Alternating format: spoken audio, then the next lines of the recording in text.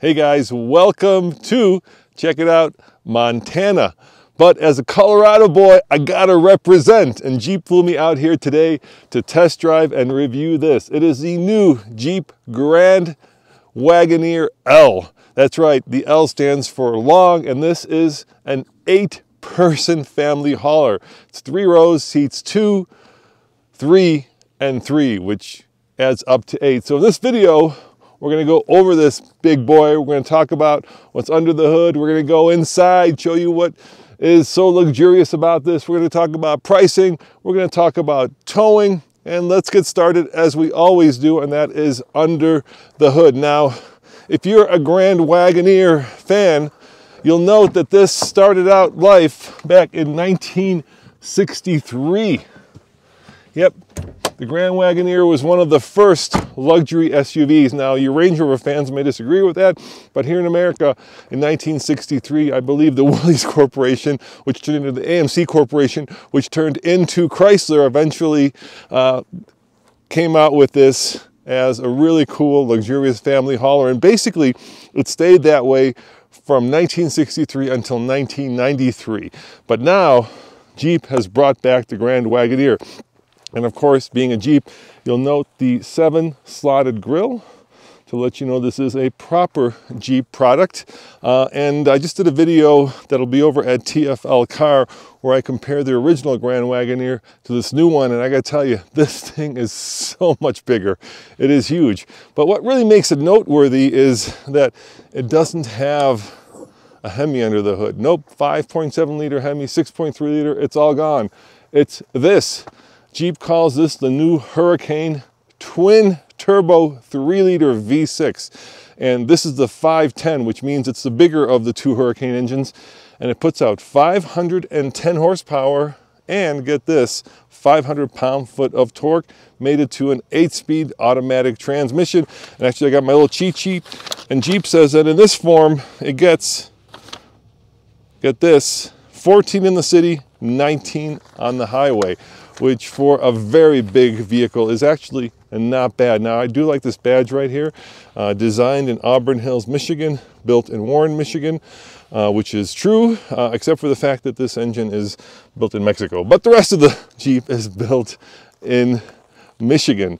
Now, of course, this big boy family hauler competes in the luxury SUV segment. So think about competitors like the Escalade, uh, the Navigator, any of the big American truck-based SUVs. Uh, and because it's an American big boy vehicle, it's got a lot of room on the inside. So let me show you what, of course, is new. Uh, not just the American flag with, of course, the stars leading the way. Those should always be pointing forward in the direction of movement. Of course, you've got your deployable side steps, so easy to get in and out. But they have completely redesigned the interior. So once upon a time, the seat controls were right here, uh, but now uh, Jeep has moved them up to a place that's familiar for all you Mercedes owners, right up there. Uh, and I think these are 23 way adjustable seats which is pretty crazy. Uh, and before we go and show you all the luxurious features, all the screens, let me uh, show you the back because let's face it, if you're buying one of these, chances are you're gonna be hauling a lot of people. So like I said, this is an eight seater. Uh, so there is room for eight people uh, and uh, it is quite enormous. So I've got the seat pushed forward and I am sitting comfortably in the second row. Uh, and I do have my own vents right there, as you can tell, uh, as well as a USB and USB port for both passengers, or if there's three, uh, and then uh, electricity as well for uh, being able to power whatever device you have, and then you could get optional screens in here for the kiddos. But Jeep says, and this is to test this out, that actually somebody that's my size, which is uh, 6'2", uh, can sit in the back quite comfortably. Oh, I love this. Look at this. Now that is uh, definitely luxury to have these screens. That always is a mark of coolness for me. All right, so let's see if somebody my size can fit back here comfortably. I do have uh, cup holders back here. Look at this. I have my own sunroof, and there's a massive one in the front as well. Uh, quite big windows. One of the things uh, the Jeep was going for when they designed this was a feeling of airiness, a feeling of openness. And I gotta say, uh, look at this. I've got enough headroom, uh, and I've got. Uh, this is really luxurious. Check this out. Reclining seats, third row reclining seats. There are not many vehicles where you can recline the seat in the back. And of course, USB-C and USB uh, ports for power uh, and individual lighting. Uh, and then of course, we'll check out the back to see how much room is in the back with the third row up. Now let's put this back. I wonder if I can do it electronically. I'll probably have to do it manually. And uh, yeah, plenty of legroom. You know, th there is more room in the back in the third row of this vehicle than in many smaller two-row SUVs. That's how much room is in here.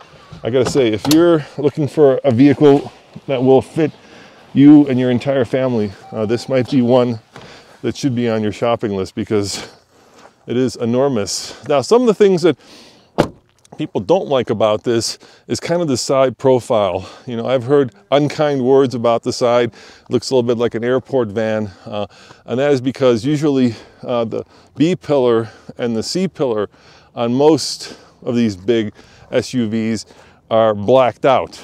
They're not body colored.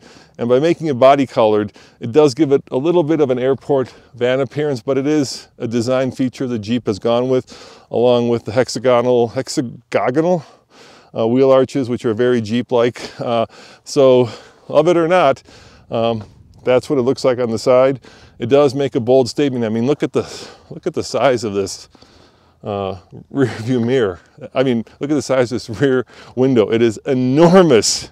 Look at the size of that rear door. I mean, it is enormous. I mean, they stretched this thing by not inches, but by feet. So let's see how much room is in the back actually. Let's do it the easy way, which is uh, like that.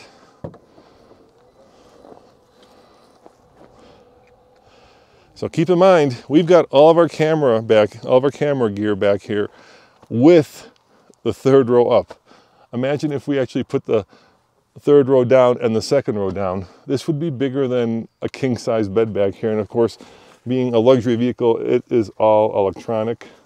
Once again, you get uh, more power back here uh, uh, and um, you get uh, nice little tie downs that are very usable here and of course right there as well. So if you do need to put something here that's going to move around, plenty of room for that. Uh, well, let's lower these seats. Let's just see how that works. So second row and third row are electric. So let's try that. I might hit on the headrest. Oh, look at that. They even engineered the headrest to come down. That's pretty cool. That is pretty cool. And as you can see, um, I guess that seat's too far back, so it's not letting it down, but there are actually cup holders back there as well for the sec for the third row. So uh, all the luxuries of the second row in the third row. Uh, usually the button is over here on the side because Jeep does it differently. Now, in case you're wondering about towing, uh, max towing, if you get the max tow package, is 10,000 pounds, which is getting into, you know, full-size pickup range. And with the max tow package, which is a $1,000 option, you also get an integrated brake controller because if you're going to be towing 10,000 pounds, uh, you better be uh, controlling that load uh, with a brake controller. All right, uh, Ian, why don't you go around the passenger side? I'll get on the driver's side and we'll kind of talk about some of the features.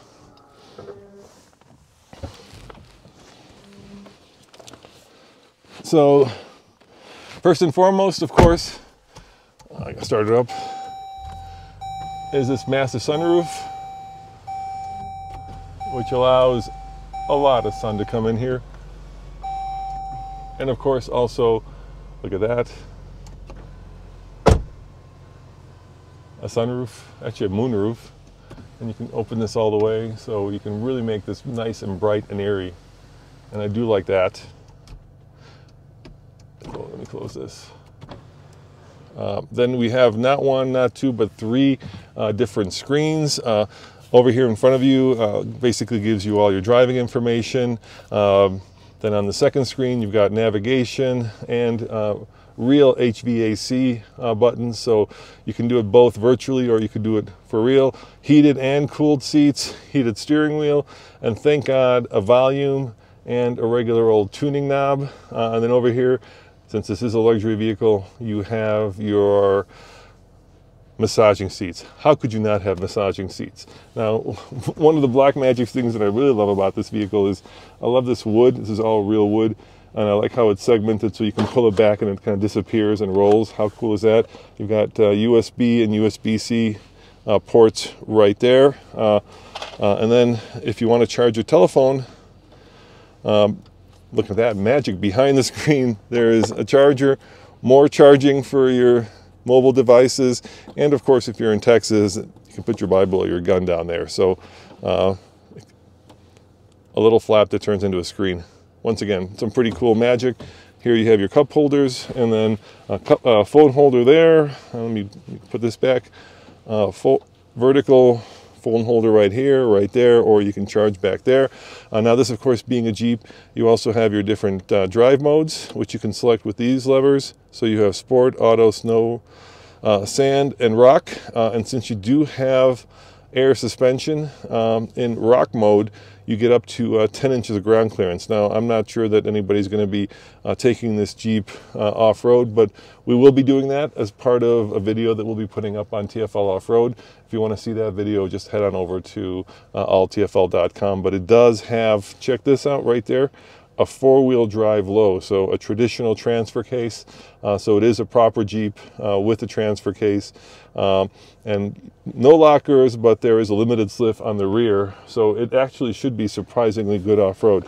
Now, if you're wondering uh, what's underneath here, it's a massive cubby hole uh, that also uh, can be uh, fitted with a refrigerator. So if you want to have a ultimate overlanding Jeep, this might be a good one for that because it is so roomy and you can put a fridge in here.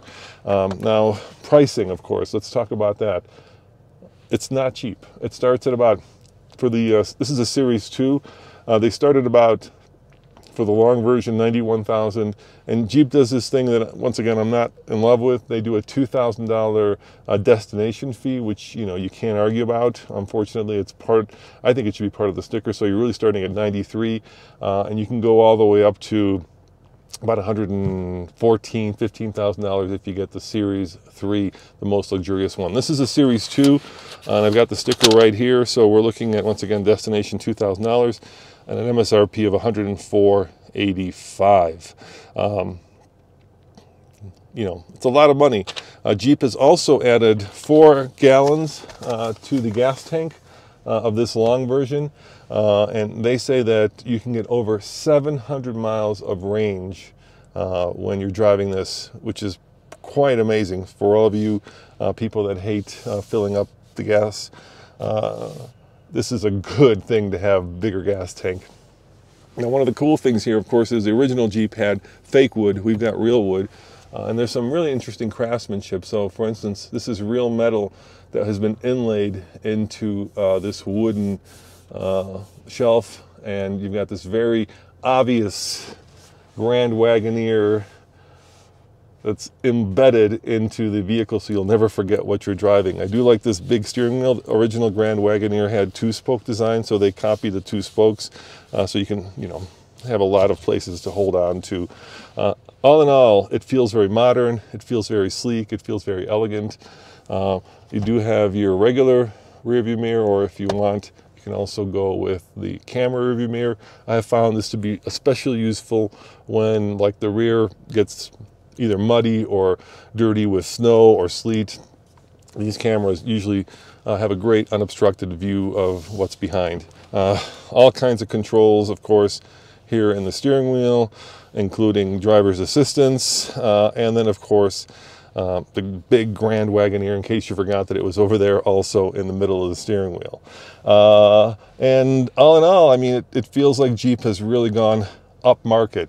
Now you might be questioning, is Jeep an upmarket brand? Uh, and the fact is with cars like this, it is definitely becoming an upmarket brand because obviously now you're competing in the rarefied world of Navigator, of Escalade, um, some of the larger SUVs that Mercedes makes, uh, and um, maybe even starting to reach uh, Range Rover levels of, uh, of fit and finish and of exclusivity.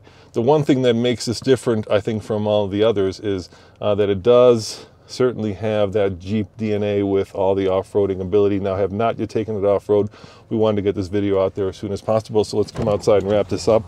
Um, but we will take it off-road, so we'll see if it is uh, as good off-road uh, as, let's say, uh, a Grand Cherokee. And this is the one place that I'm actually a little bit confused because you have a Wagoneer, you have a Grand Wagoneer, you have a Cherokee, you have a Grand Cherokee, you have a Grand Cherokee L, and now you have a Grand Wagoneer rear L. And where all those vehicles fit into the spectrum of Jeep, I'm not quite sure. I mean, at what point do you go from a Jeep Grand Cherokee L to a Grand Wagoneer? I do know though that this Grand Wagoneer L uh, is the biggest, baddest of them all, uh, and it certainly feels about as American as uh, apple pie and Jeep, uh, because uh, if you want to be the guy in your neighborhood who can tow 10,000 pounds, who can take you and seven of your family members across the country to beautiful places like Montana and do it in all kinds of weather uh, and do it towing 10,000 pounds of, uh, well, there's an Airstream right there, then uh, this is a vehicle that will do it. And we're going to have complete off-road and towing reviews as well with this. We're still filming those, so be sure to come back to alltfl.com. Thank you guys for joining me for this quick walk around, uh, and uh, I will see you later. I've got a lot more reviews to film. Gosh, this looks a lot like Colorado, but I still like Colorado. Ciao.